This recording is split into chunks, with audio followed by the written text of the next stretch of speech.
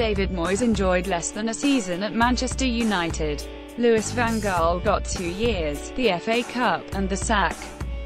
Jose Mourinho is entering the first period of his management where there are serious and sustained questions over whether there are problems of his own creation.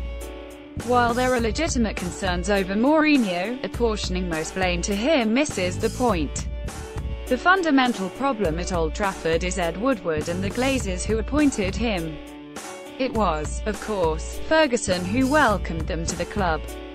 Manchester United's Bebe R is challenged by Crawley Town's Dean Howell during their English FA Cup soccer match at Old Trafford in Manchester, Northern England February 19, 2011. Reuters, Phil Nobler Reuters United were taken over by the Glazers in 2005. In the years that followed, the financial crisis almost took them, and United, down into bankruptcy. The takeover was facilitated by hundreds of million of pound of debt corners were cut, as was expenditure on the team. What was presented to David Moyes when he took over might have been a squad that had won the title, but it was one which had been running on fumes. Old players had to be shipped out, and younger, poorer players were kept on when a previously more ruthless incarnation of Ferguson would have sent them packing to Newcastle and Sunderland.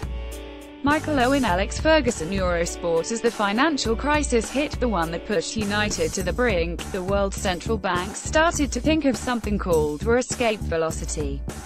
With enough money pumped into the system and with interest rates kept low enough, the theory was that they could stimulate the economy back towards growth. In many respects, it worked.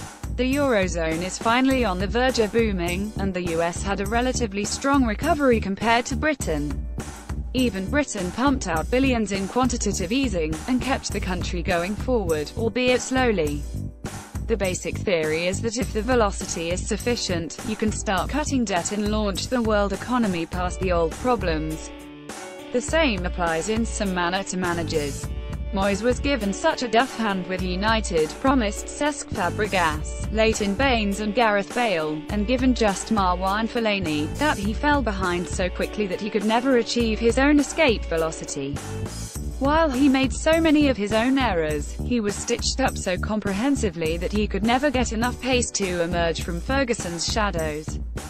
Marouane Fellaini of Manchester United and Jose Mourinho, manager of Manchester United speak after Marouane Fellaini is shown a red card during the Premier League match between Manchester City and Manchester United at Etihad Stadium on April 27, 2017 in M. Getty Images Louis van Gaal's first season was different.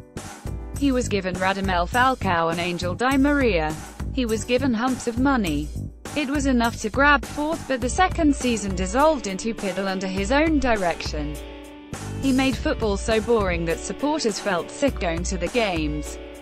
But even he was told Sergio Ramos would be on his way, only to be failed by Ed Woodward. He should have done better in his second season, clearly, but he could only do so much when he had Phil Jones and Chris Smalling in defence, and Wayne Rooney dragging the whole side down with him. Ultimately, by his own tactics, he eventually created a side that could never progress no matter how much money he would have been given after the FA Cup win.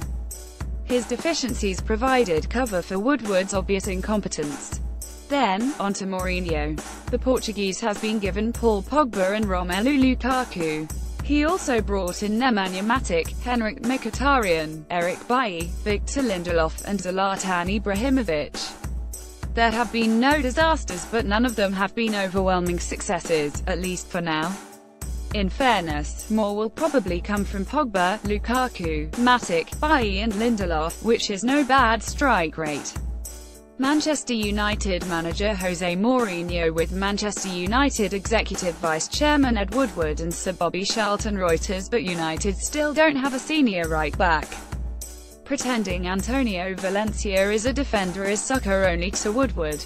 They have only two decent central defenders, and no left-back who can be trusted.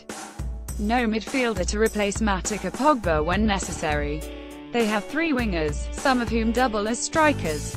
Mourinho asked for more defenders and he asked for more wingers. Woodward has left him with Luke Shaw, Smalling and Jones. He delivered no winger. Ivan Perisic into T images There are problems at United, some created by Mourinho. He is too conservative when he has most of his players available. His public aggression works for him as often as it backfires. It seems his approach to attacking is to hope sticking lots of good players together does enough.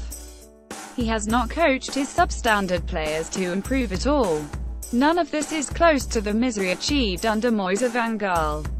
And there is no alternative who is both available and who would reliably improve things.